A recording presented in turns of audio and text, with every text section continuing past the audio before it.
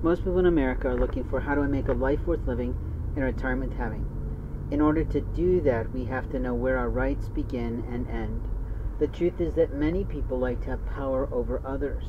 They often do so as a form of indiscriminate, inopportune abuse.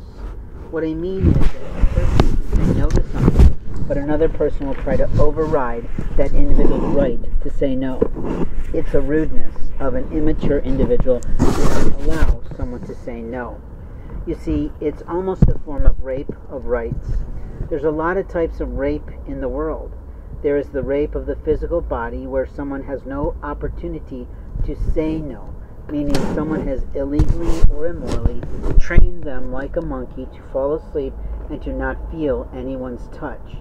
That is something that law enforcement does in jails that is incredibly illegal. It's probably why a lot of women in jail cells end up pregnant, but it's also why a lot of men in jail end up abused and sometimes addicted to the things they're prescribed to keep them even keel while they're in jail. The liars of America do work in the force. We see it all the time on court TVs and sort of uh, inmate television where the law enforcement officers are lying in order to get the person under scrutiny to admit something. We've seen those scenes in movies and television and in real life action type of oriented footage.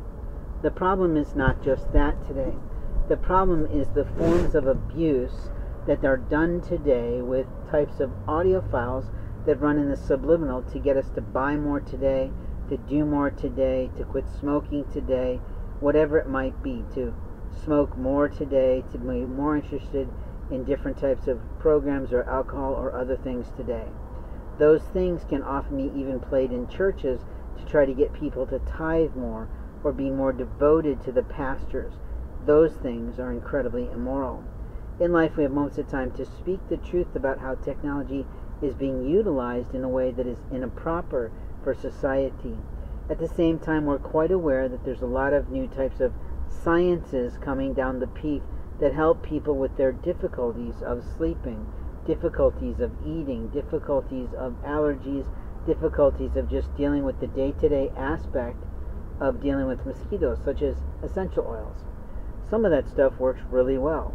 Others of it doesn't work as well, and some of it is downright dangerous for society. The truth is that people do not want their food or their beverages tainted, and we recently saw on the news a show, I think it was a morning show with Hoda and whoever her new Kathie Lee replacement is, that basically when she retired they replaced her with someone named Jenna, I think. And I don't know if it's Jenna Bush, I have no idea. But the bottom line, they were talking about how you check to see if your drink has been tainted if you've gone to a bar or to a social outing or to a business event where there might be alcohol at a bar to purchase along with soft drinks and other things. The truth is that in life we have moments of time to speak the truth about what is and isn't acceptable underneath American society, social culture, and openly inappropriate aspects of nuances that people just don't get anymore because they've lost the ability to be polite in America. Now, if I say this, people think I'm old school, I'm old fashioned. Possibly so.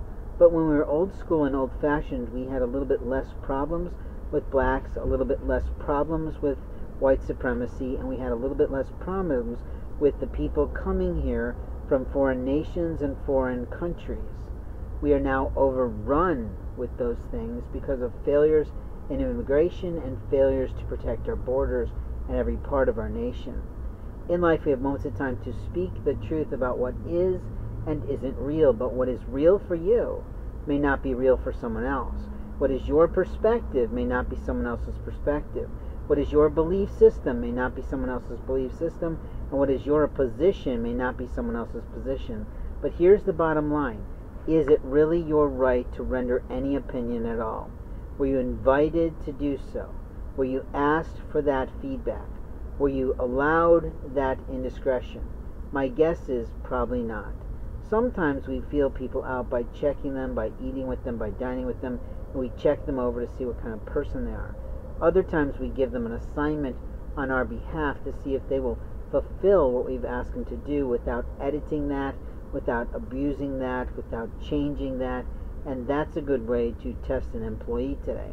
The challenge we have in corporate America, the challenge we have across the nation in retail stores, is that people are not willing to do the jobs anymore. Meaning they're not hiring the right people, they're not age demographics, they're not training them the right way so they won't go astray, and openly we see that each and every day.